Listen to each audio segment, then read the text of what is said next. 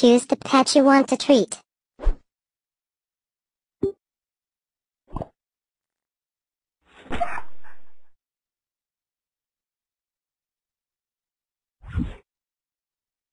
Bruno got stuck in thorny plant.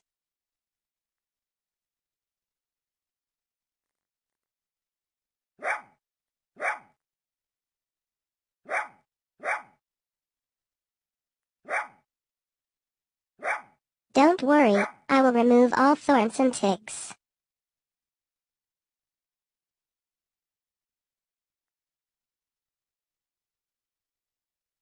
Can you help me in cleaning messy Bruno?